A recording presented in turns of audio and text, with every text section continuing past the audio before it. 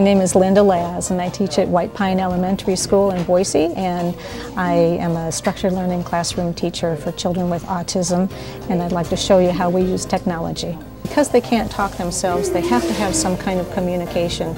And if we don't have something like the iPad or the iPod, then we see a lot of behaviors because behavior is communication. Um, but with the iPod, um, she really has a way of letting us know what she wants and what she needs. She uses it to tell me what she wants to work for. She uses it to tell me what kind of reinforcers she likes, what kind of food reinforcers. She can tell me what she has in her lunch, and she, there are also places where she can say whether her eyes hurt or her tummy hurts, that type of thing. We also use it as far as um, uh, teaching her how to spell because she can't talk then she needs to have some way of letting us know that she is understanding the sounds of the letters and, and the words. She just got it over the summer and fortunately her father is able to put in a lot of uh, information. It, she uses the Proloquo2Go.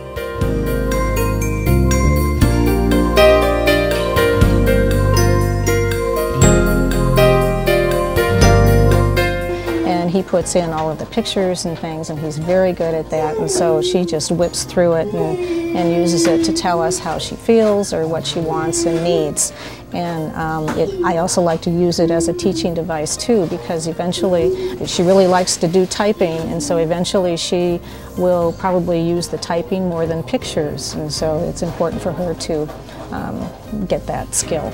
Well, I use what's called a discrete trial method for teaching reading, and so um, kids with autism generally cannot break down words right away um, into phonemes, and so I, I, give them whole words, and I show a picture and a word, and I break it down so that they, they can match the word to the picture. I took it a step further, and I used um, her iPod to, iPod to spell it.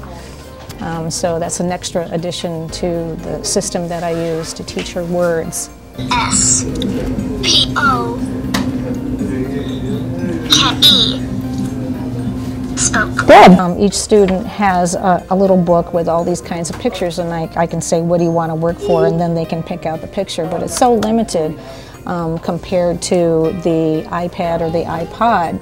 Um, there's just so many more pictures that you can put on there easily, whereas these I had to create and, and, make and laminate and all that. It's just so important to me and to these kids that they have a way to communicate. And these uh, um, things are their voices. And, and I, I, just see that when they start to be able to understand why they have this, then it's, it's so great to see the light bulb go on and, and they can do all kinds of things.